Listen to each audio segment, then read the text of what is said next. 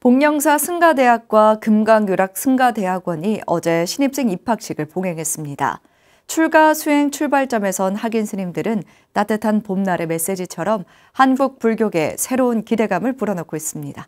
정준호 기자가 전해드립니다. 복령사 대적광전에서 신입 학인 스님들이 합격 증서를 받고 있습니다. 세주당 묘명사의 해안으로 조계종 비구니계 교육불사에 일찍이 힘을 쏟아온 복령사 승가대학과 금강유락 승가대학원의 입학식 현장입니다. 올해는 승가대학 5명, 금강유락 승가대학원 석사 과정에 해당하는 전문 과정 5명, 박사 과정에 해당하는 연구 과정 1명 등 총 11명입니다. 복령사 승가대학 석좌 교수 도혜 스님은 입학 학인 스님들에게 심근을 단단히 만들어갈 수 있어야 한다고 당부했습니다. 여러분이 발심한 그 믿음의 뿌리가 얼마만큼 튼튼한지 그 어, 발심한 것이 말 몇 마디에 변할 수 있는 믿음인지 아니면 비바람이 몰아치고 팔풍이 불어와도 끄떡없는 믿음인지 스스로 한번 확인해 봐야만 된다고 생각합니다. 평생 후학 양성을 위해 노력해온 묘원 명사의 유지를 이어 설립된 세주 묘원 불교 재단은 우수 입학 신입생들에게 장학금을 전달했습니다. 복령사 승가대학 졸업 동문회 선우회와 금강 유락승가대학원 졸업 동문회인 비나야회에선 학인 스님들에게 가사장삼 가방과 경전 가방을 준비해 선물했습니다. 금강 유락승가대학원 율주 적연 스님은 초발심을 잘 기억해 장차 내가 승가에서 어떤 역할을 하고 사회에 어떤 영향을 끼칠 수 있을지 생각해 보길 권했습니다.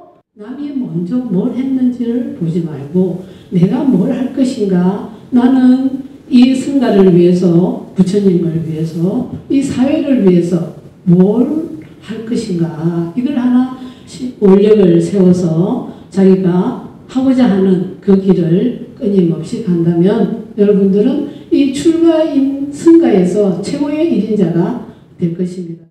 입학 학인 스님들은 어른 스님들에게 3배로 예경을 표하고 온 마음을 다해 수행 정진에 임할 것을 약속했습니다.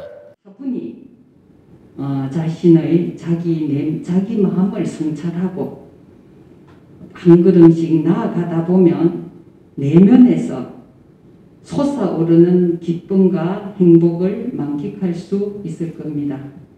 부디 너무 성급하게 건너짚지 말고 부지런히 하나씩 하나씩 터득해 나가는 수행님이 되시기를 바랍니다. 출가를 해보니 정말 마음이 편하고 좋고요.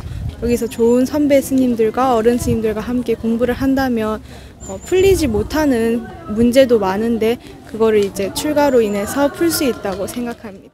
출가 수행자 감소라는 불교계의 공통적인 고민 속에서도 복령사가 양질의 학인 스님들을 키워내며 교육불사를 원만하게 이끌어가고 있습니다. BTN 뉴스 정준호입니다.